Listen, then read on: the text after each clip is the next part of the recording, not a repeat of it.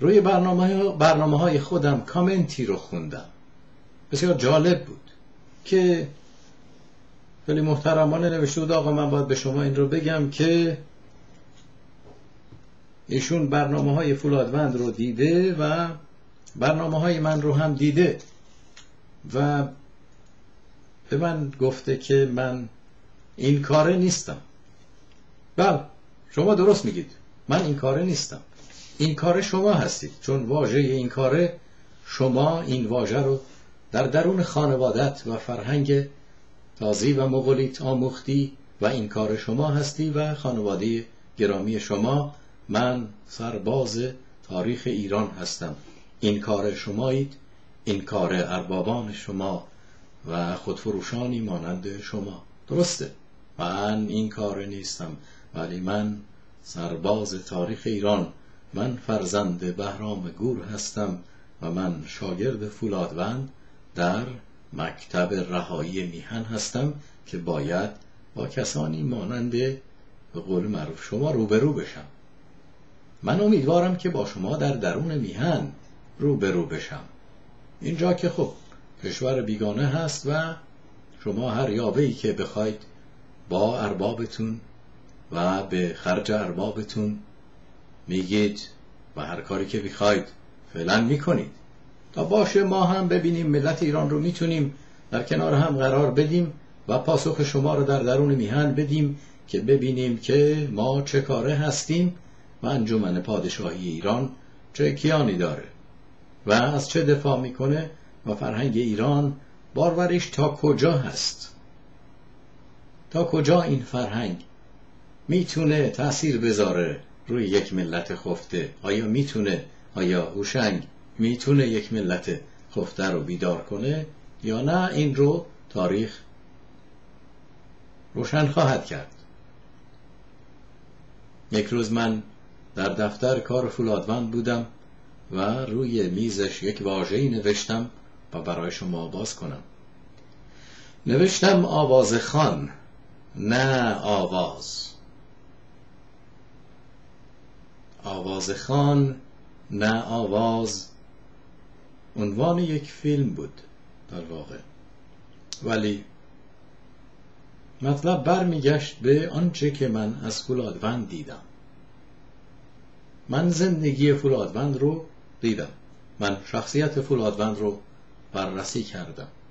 من زمانی که پیش فولادوند بودم فقط سکوت کردم و همه چیز رو نگاه می کردم و همه چیز رو تجزیه و تحلیل می کردم برای این بود که روزهای آخر بود نوشتم براش روی میزش. آواز خان نه آواز. و من به این آواز خان بسیار اعتقاد دارم و گرامی میدارم. این آواز خان رو آواز خان تاریخ ایران فولادوند گرامی رو از جان خودم هم گرامی تر دارم. این آوازخان با سرمایه گذاری همه عمرش و داراییش و شاید هم جانش خبر ندارم. من به محض اینکه خبری از فولادوند به دست بیارم در ارتباط ملت ایران خواهم گذاشت و من نصیحت می‌کنم به شما که به یابه هایی که دیگران میگن توجه نکنید و صبر کنید. این مقوله رو ما باز خواهیم کرد. انجمن پادشاهی ایران سرگرم بررسی و تحقیق در ارتباط با جان فولادوند هست.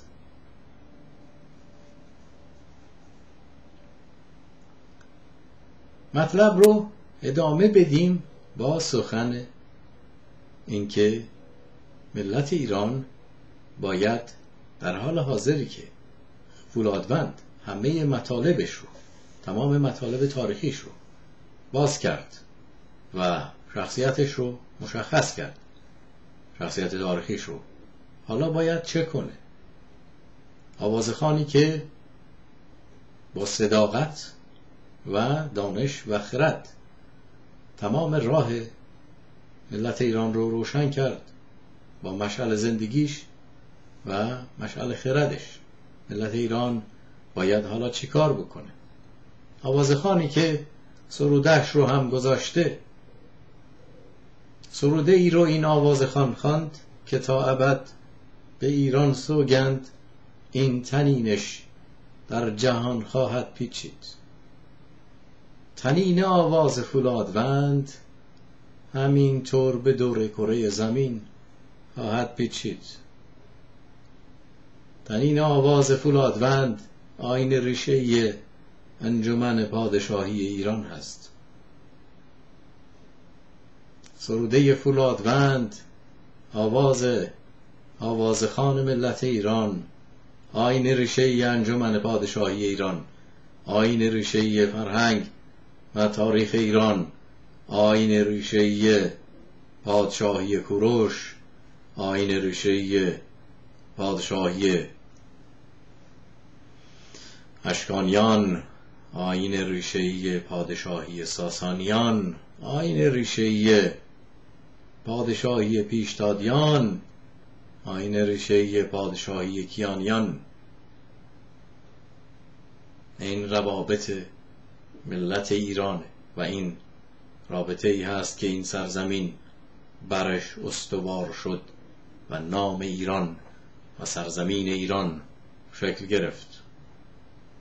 این آواز آواز خان فولادوند باید در این سرزمین زمزمه هر مردی زمزمه هر زنی و هر کودکی باشه.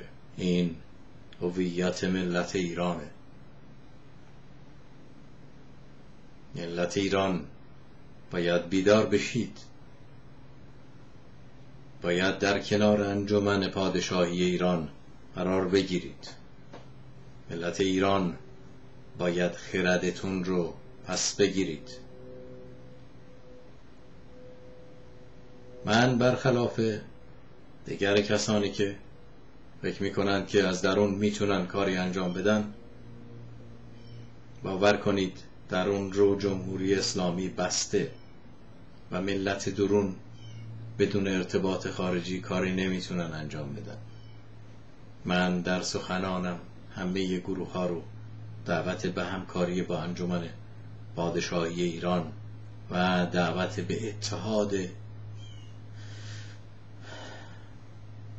اتحاد بر سر هویت ایران که همون آین رشهی هست کردم.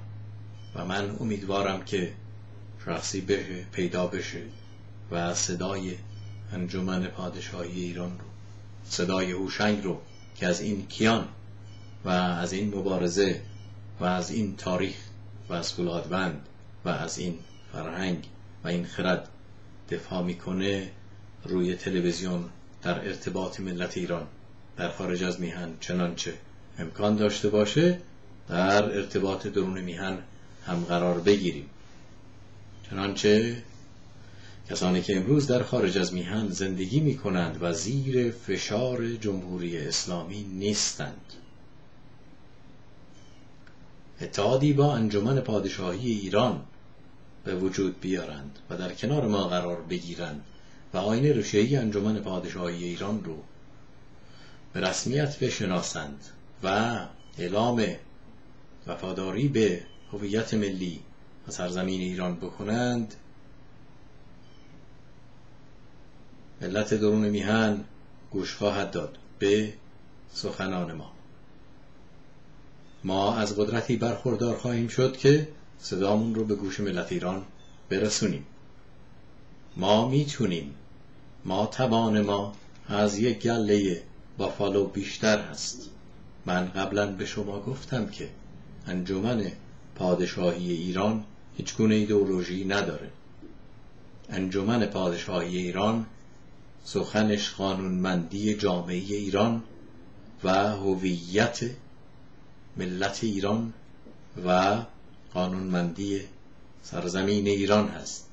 چنانچه شما کنار ما قرار بگیرید ایدئولوژی شما از آن خودتون و این سرزمین سرزمینی آزاد خواهد بود که مرز آزادیش خرد و فرماسیون اجتماعیش مرزهای ایران خواهد بود.